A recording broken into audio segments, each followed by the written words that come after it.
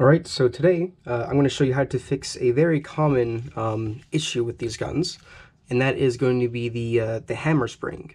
So essentially, how you know the hammer spring is broken is if the hammer uh, will not fire. So you can see that it's cocked right now. If I pull the trigger, doesn't fire. Uh, most often, that's going to be an issue with the hammer spring um, in there. Um, now you do want to make sure that it's not just the auto sear. So the auto sear, if I press up here, um, as if, if that can wiggle, then that's perfectly fine. That's not the issue.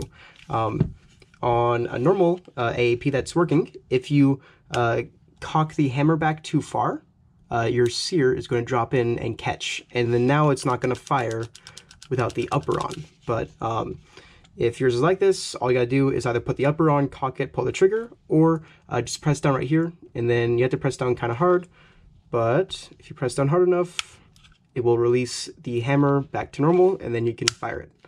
All right. Um, but we're to get into fixing the broken spring. It's very simple.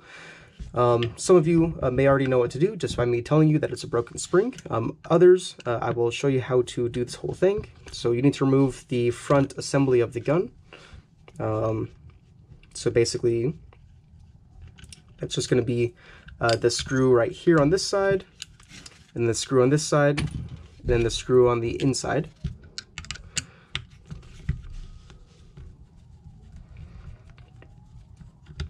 And once that's gone, uh, we can remove the safety. So press the safety in from this side. So press it in and then use an Allen wrench or a punch tool and push on this side on this little arm that's right here. You push on that and then you should be able to uh, free the whole um, safety. And the safety's out. We need to set everything off to the side. And then now all that's holding everything in is just this pin right here. Uh, your pin should be pressed in from this side, going out the other side. So you press in like this.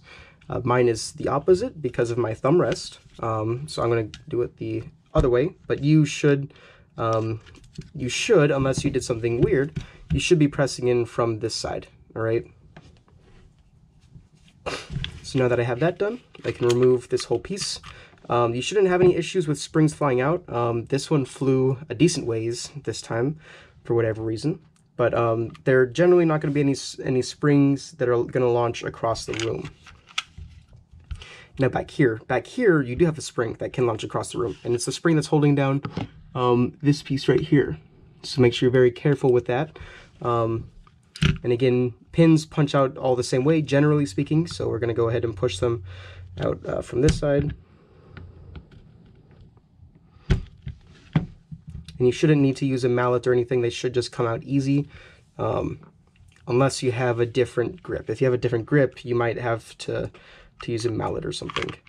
Right. Um, as I take this out, I was holding on to that piece that I said could fly across the room and then you want to very carefully deal with that um, and get the spring out. Um, just make sure you're very careful so you don't lose it.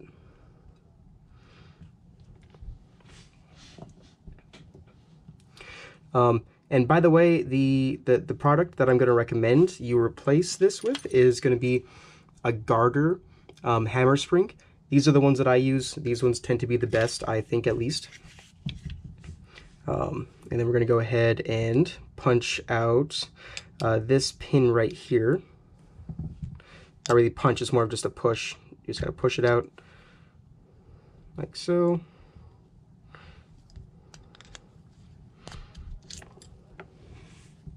Like that. And then you should have a spring that comes out as well. Uh, the spring is going to be under a little bit of uh, tension, but it's not going to fly across the room or anything, and it's a fairly large spring, so you shouldn't have to worry about that. We're going to remove all the other pieces that were down there. And then now, we are getting into the part where um, you're going to do the actual repair. So if you flip, flip it over to this side, uh, you need to punch out this pin. This pin just goes out straight through. And now um, everything in here will just drop out. So you just can dangle it out um, it'll just come out. Uh, the other, the auto sear that I was talking about earlier, leave that in, don't take that out, you don't need to take that out. But you can see here the broken piece, right like that, compared to the normal piece. So it is missing a whole arm on there, right? And that is That's what the issue is, obviously. Um, so we're going to go ahead and repair this. So basically when you put it in the gun, make sure that the you have basically the spring is in that orientation and the hammer is in this orientation.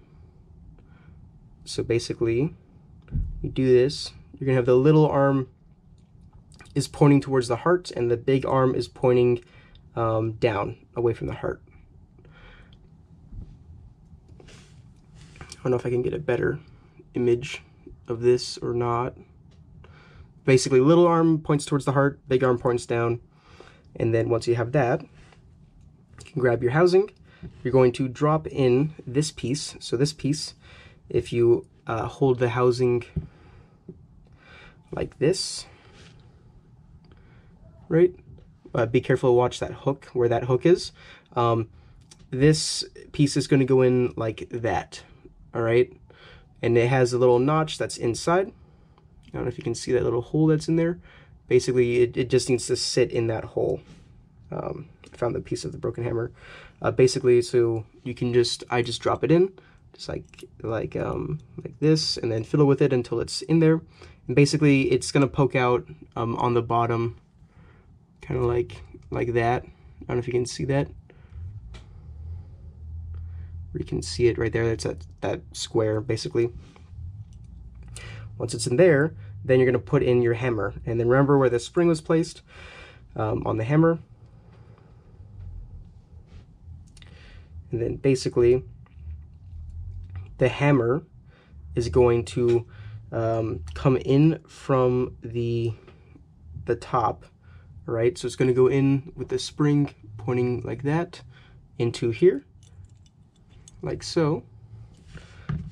And then you want to catch the little spring arm on uh, the ledge that's right here. And you'll probably be able to see in a second exactly where, but it's this flat ledge right here.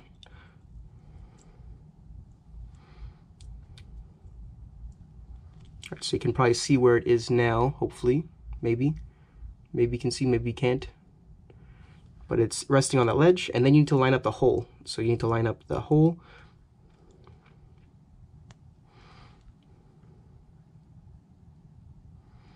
then once you think you have the hole lined up, then you can drop in the pin. And then this is putting the hammer in and getting the hole lined up is the hardest part of this whole process. But it's not that difficult. It just takes some fiddling um, to get in there exactly correct. And a couple tries normally. Um, rarely do I ever get it in first try. Uh, make sure you don't lose that piece. That piece is very important. Let's see. I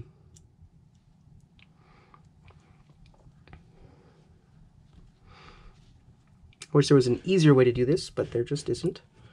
That's okay. And then I'll push through all the way. And once that's through, just double check, make sure you can pull on the hammer, and the hammer is going to fling back forwards, and that's all good. So now we can go ahead and start putting the other stuff in. So this piece right here this is going to go in here. It's going to lay down like that on that side. And then this spring, this spring can be dropped on just like so. And then this pin is going to go back through. Once that pin is through, then you can attach the spring arm to the little piece. So the spring arm goes onto that triangular piece. So basically, if you cock the hammer um, and push on the little uh, square down here at the same time, you're going to expose uh, the triangle. I don't know if I can get this on camera very well, but you expose the triangle a little bit and then just use your finger to pull that spring into place. And then once that's in, you can just confirm everything works again before you put it back together. Uh, if you cock the hammer, uh, don't cock it too far, just cock it until the first click. And then use your Allen wrench or punch tool or something right here and then you just need to pull on this uh, going this way. Sorry. And if it fires, then it fires. Right? Now you got to put everything back in. So spring for the fire pin. This is the one that you could lose, so be careful. Uh, you just need to put that on there, and then the fire pin is going to kind of uh, wiggle its way into place, like so, and then you can drop the whole chunk into the uh, into the receiver again. If I can get it, there it goes. Um, once that's in, I grab my trigger and I'm going to um, sort of get the trigger dropped into the trigger hole and then I'm going to pull this out again. And then being careful of the, the spring that's under tension, you need to make sure that the trigger bar gets seated like that, how it is right there. If it's seated like that, then you're, you're set. You can drop everything back down and then press on this button right here so you can get everything locked into place and then you're all set there. Right, so now these two pins go back in. So dumbbell pin goes in the back. And then the non-dumbbell pin goes in the, um, the bottom like that. And then now uh, this large chunk is going to go back in like that. Right up here, hopefully. Yeah, there it goes. And then this piece, I always forget when I first look at it, um, it it's going to go in like this. So um, I don't know if you can tell which, uh, the way the arms are. It's like this, and then you rotate it this way. And then you can drop the spring the spring is going to go on to this little piece right here. It hooks on to that. It hooks on right down there. I don't know if you can see. And then I grab onto the spring and then the, the whole thing. And then I just slide it in place. Um, basically, this goes on both sides of the trigger. And I put it into place just like that and it's all set. And then now I grab this spring, this one, And this spring basically just hooks onto the trigger bar and then it's going to hook in up here as well.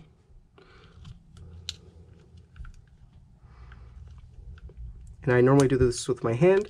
It tends to be the easiest way for me to do it, uh, but most people are going to use like a, a tool for that. But I find that my hand works the easiest. And then the trigger pin, I'm going to put the trigger pin in. And then we're going to put the, uh, the, the safety in. So the safety, uh, it goes in like this, straight in through this way, and then it will just uh, push in, and then you need to use your Allen wrench on the little arm again, and just help uh, ease the whole thing into place, right? Now, uh, we only have a couple more things left. We just have the, the screws on the side of the gun.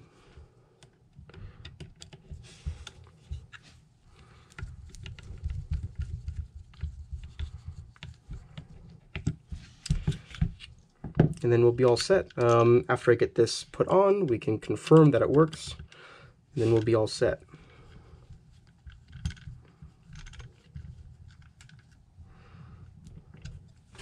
All right, so now all we have to do is pull back the hammer till it clicks the first time.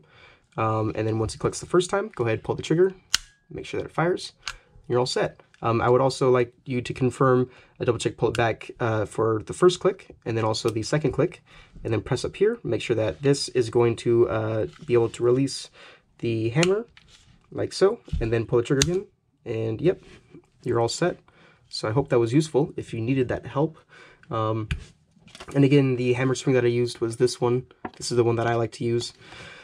Um, but you can use whatever hammer spring you want. There's lots of options out there. Um, I just prefer that one and that is uh, that is it. I hope that was useful. If you needed it, um, have a uh, have a nice day.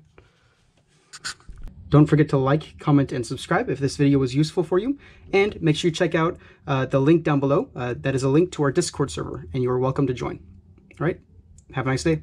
Thank you.